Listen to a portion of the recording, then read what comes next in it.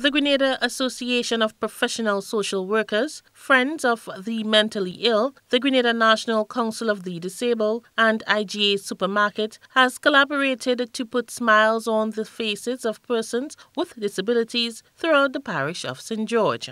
In celebrating the month of May as Disability Awareness Month, the organizations distributed lunch to persons with all form of disability in Grand Anse and the Tongue of St. George. Anne Graves, Vice President of the Grenada Association of Professional Social Workers, spoke about the initiative. May is designated as the month of the disabled, and so we are marking the, the month with this event.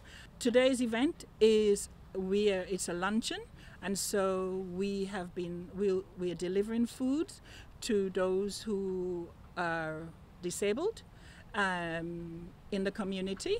Um, we know this is a very difficult time, so what we've had, we've had caregivers coming in and picking up food, and some of our colleagues will be delivering a different point in St. George's. Yeah, so it is to raise awareness about um, the plight of the disabled people in our community or in our nation. Graves said the initiative is one of many to come. Certainly, this is just the beginning of an initiative where we're providing lunch.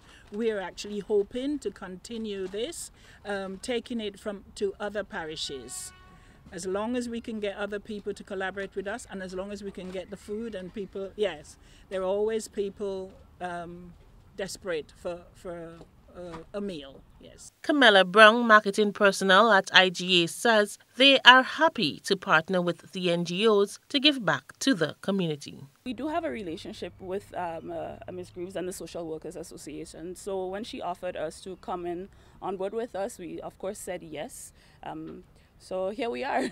We're helping as much as we can, and hopefully the relationship will continue, and we'll be able to do more for the community because that's part of our motto: is um, community service development, and and things like that. For GBN News, I am Rena Pett Thomas reporting.